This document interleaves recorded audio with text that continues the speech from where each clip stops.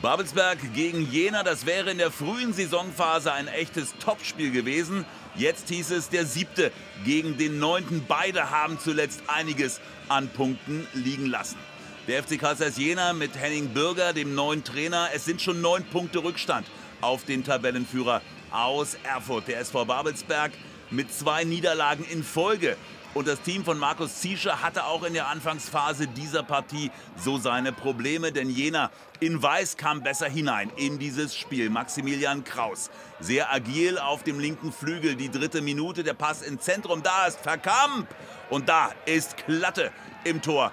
Der Babelsberger Pascal Verkamp, einer von 4-9 in der Startformation des FC Karl Zeiss mit dieser Riesengelegenheit hier in der Anfangsphase von Klatte gut verteidigt. Die 16. Minute Jena am Drücker. Der Pass rutscht durch auf Maximilian Kraus. Der für Verkamp und da ist Dedides. Auch der war neu in der Startformation. Vassileos Dedides Verkamp diesmal als Vorbereiter. Kraus leitet das Ganze ein und aus dieser Möglichkeit, da muss Dedides natürlich mehr machen. Es dauerte fast 20 Minuten bis zum ersten gut vorgetragenen Babelsberger Angriff. Schmidt ins Zentrum, da Steinborn und Endualo. Glück hier für den FC Karl Zeiss. Jener Endualo mit der ersten Möglichkeit für die Babelsberger. Aber insgesamt jener in Halbzeit 1 das bessere Team. Kraus. Wieder leitet er ein, Dedides. Und da lauert Muyomo, der Notzugang aus Rathenow, hat da alle Zeit der Welt. Nach der Flanke von Vassileos Dedides kann er sich die Ecke aussuchen, verfehlt das Tor von Klatte allerdings relativ deutlich.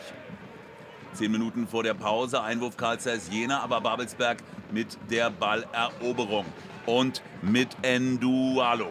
Endualo mit dem Ball ins Zentrum, da lauert Steinborn mit dem Rücken zum Tor. Das macht er artistisch. Alexios Dedides der Bruder des Stürmers, der wieder Kunz vertrat zwischen den Pfosten, hat aufgepasst. Steinborn hier mit der Hacke am Ball. Mit 0 zu 0 ging es in die Pause vor 2860 Zuschauern im Karl-Liebknecht-Stadion von Babelsberg und die Gastgeber kamen besser aus den Kabinen. Babelsberg druckvoll zu Beginn der zweiten Halbzeit. Dedid ist da unter Druck gesetzt. Endualo ist da, wird angeschossen vom Torhüter Jena hier im Glück.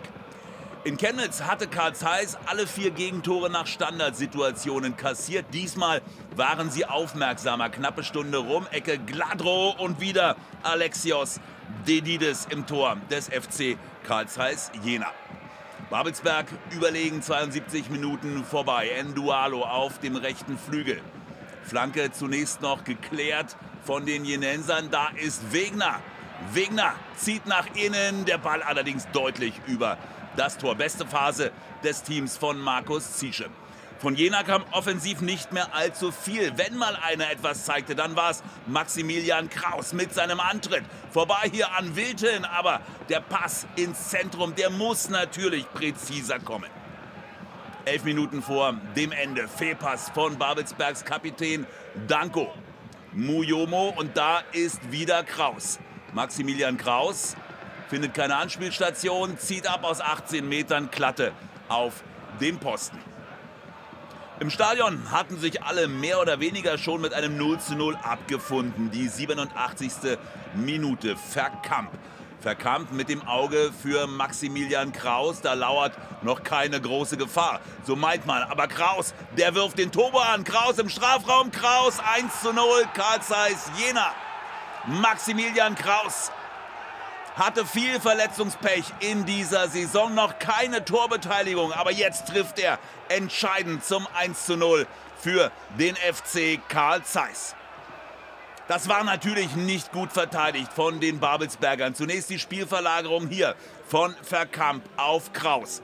Ngati, der kommt deutlich zu spät. Wegner kann Kraus nicht stoppen und dann ist auch Klatte im Tor ohne Chance. Feine Einzelaktion von Maximilian Kraus.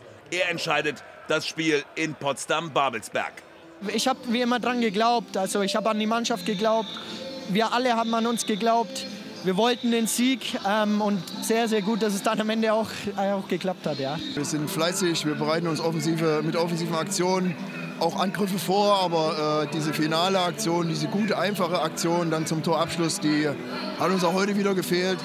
Aber wir haben uns schon in der Halbzeit dann auch genau auf diese Sachen fokussiert und haben gesagt, dann, dann ist es halt die siebte, achte Chance, darauf müssen wir hinarbeiten und genauso kam es und ich freue es für, für Maxi Kraus besonders. Die erste Halbzeit war Jena besser, zweite Halbzeit war wir besser und dann hat man sich eigentlich auch darauf eingestellt, dass es eigentlich auch ein gerechtes 0-0 gewesen wäre. Aber in so Spielen zählen halt auch die Kleinigkeiten und die Kleinigkeiten gehen dann bei uns los, dass wir dann halt die Spielverlagerung zum Beispiel nicht zulassen.